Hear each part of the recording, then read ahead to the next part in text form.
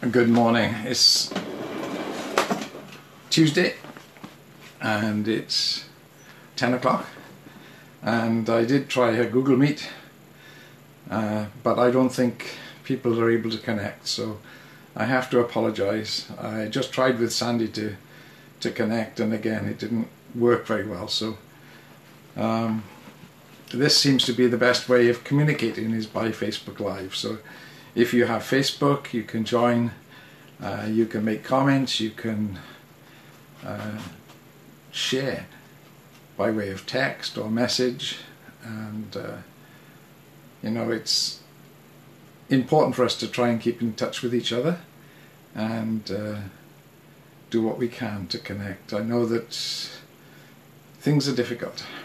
Um, uh, I was intended to be at the church today, but um, I still have issues with my back, so I thought it was best that I didn't push myself, and so instead I wanted to connect in this way.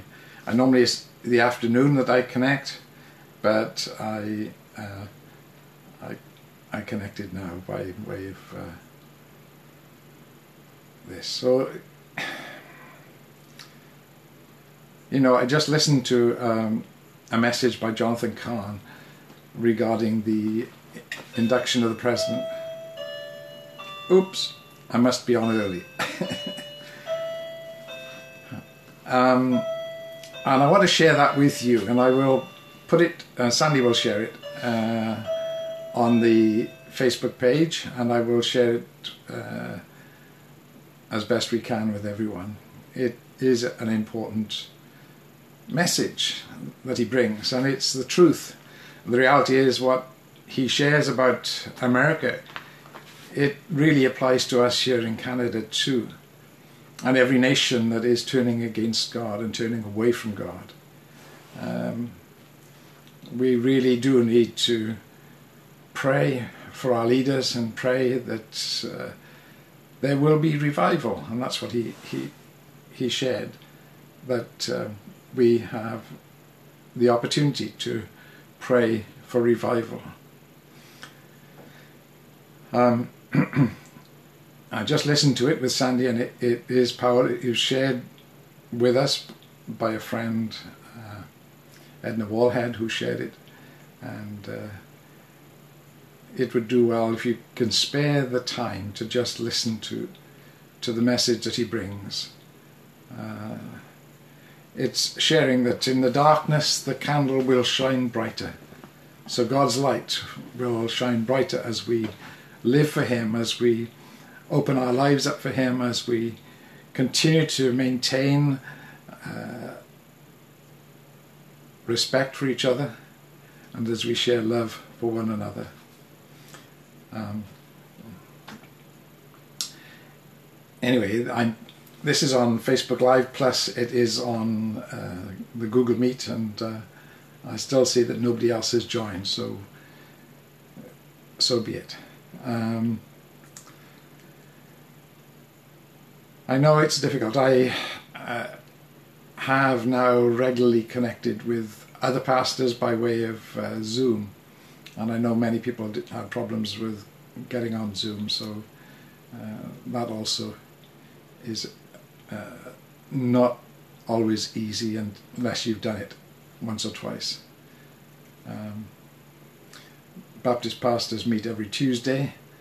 Uh, I've met with the pastors in uh, Collingwood and also the pastors in Georgian Triangle Ministerial. So uh, that has been helpful for me to know that what others are doing as well and other churches and how they're responding to the difficult situation we find ourselves in where we're not able to meet.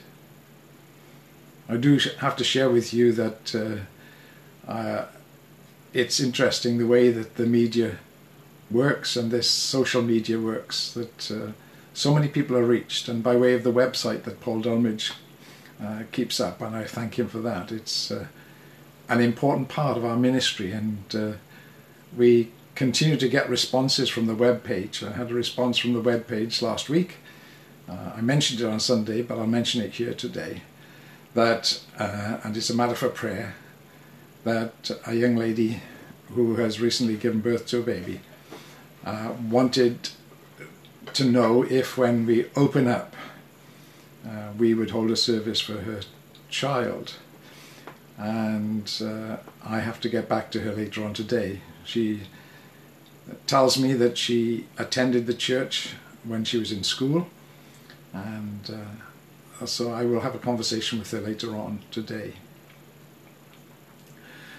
Um, as this is was a time of prayer, we need to pray for each other. Pray for Barbara. I'm not sure how she is. I, have, I haven't called her today, but she's not.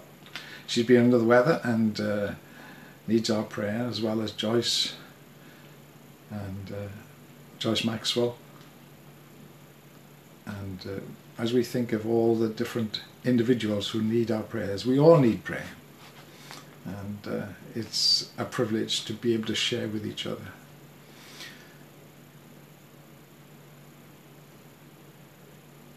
Again, I was hoping that I would hear from people and they would share with me what their prayer requests would be and how they're doing.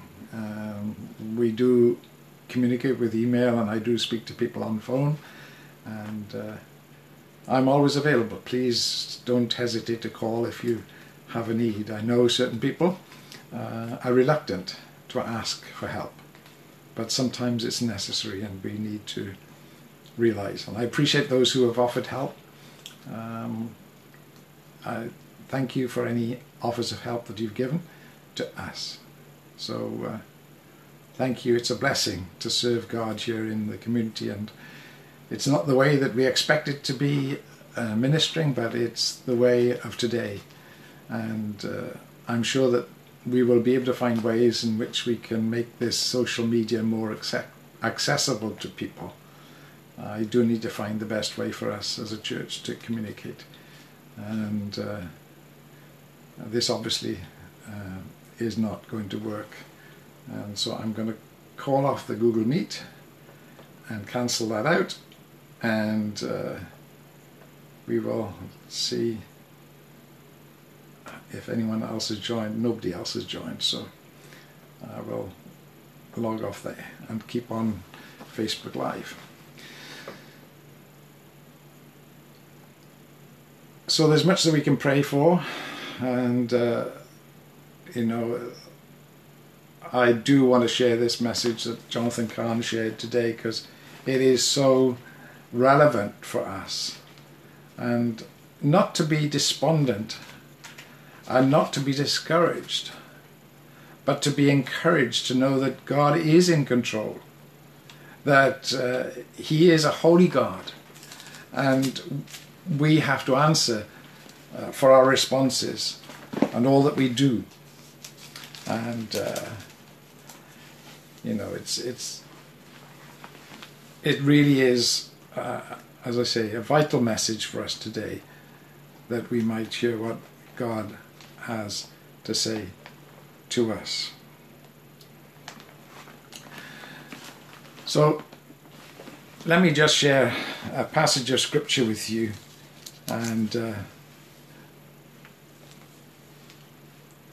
here, excuse me,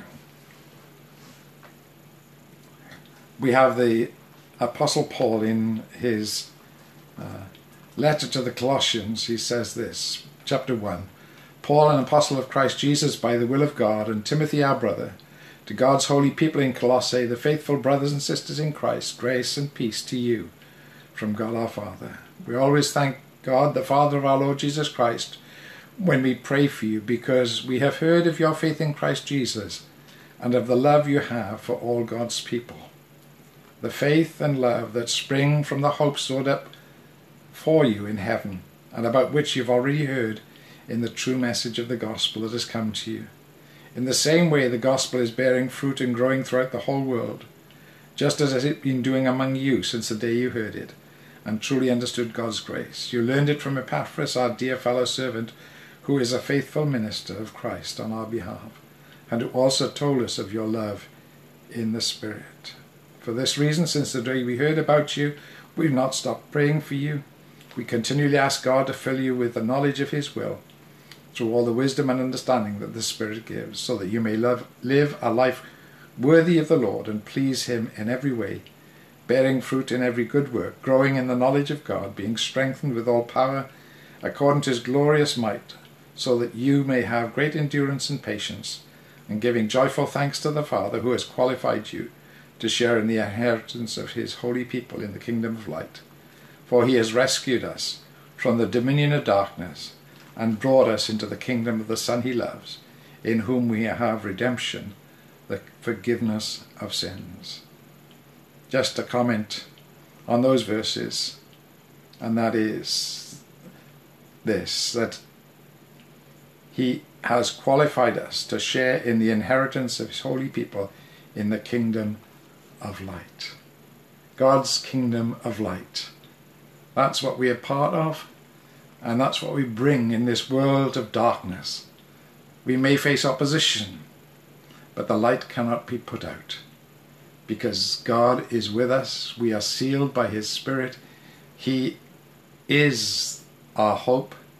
He is the one who gives us the strength day by day to live for Him. Remember what Paul says here the faith and love that spring from the hope stored up for you in heaven, and about which you've already heard in the true message of the gospel. I pray that God will bless that reading of His word to you, and uh, let's pause and let's pray.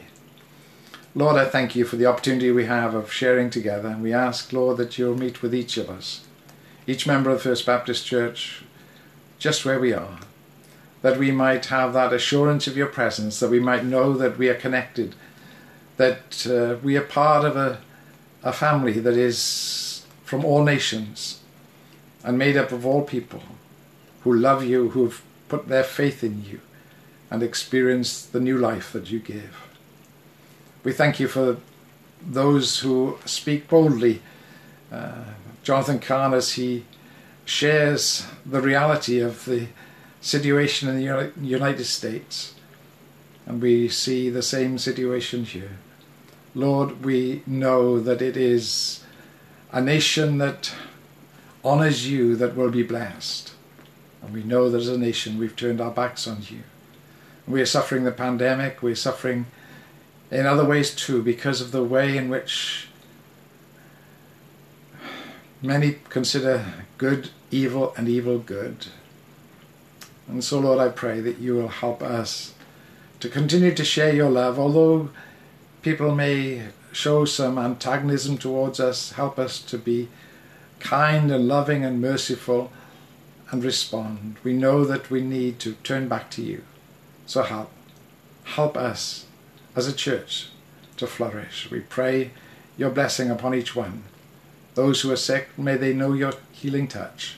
And again, thank you for this opportunity. I pray these things in Jesus' name. Amen.